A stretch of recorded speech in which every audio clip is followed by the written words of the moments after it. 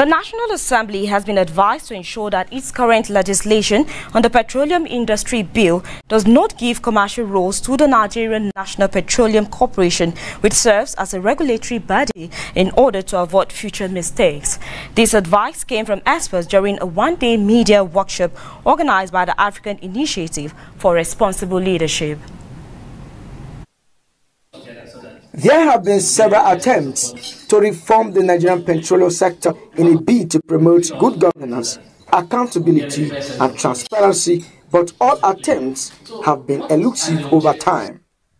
Available logs on the industry, many say, have become obsolete, such as the Petroleum Act 1969, the Petroleum Profit Tax Act 1958 and the Deep Offshore Basin Production Sharing Contract Act 1999. The inability to reform the petroleum sector led to some ambiguity, uncertainty, and lack of focus on the part of the government and the investors. One of the many effects of this is the current hardship faced by Nigerians as a result of the increase in petroleum pump price.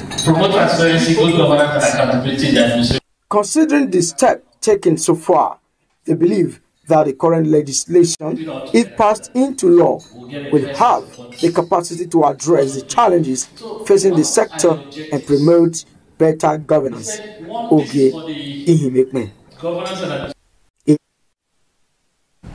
Nigerians have been charged to take advantage of their numerous untapped entrepreneurship opportunities